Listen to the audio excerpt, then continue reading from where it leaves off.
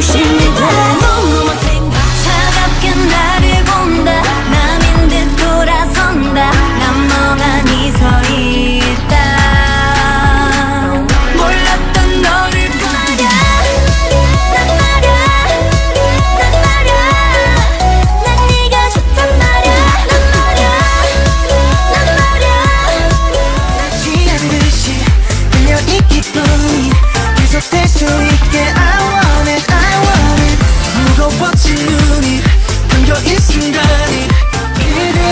어쩐나? 너 때문에 난 이제 어쩐나 달고 김해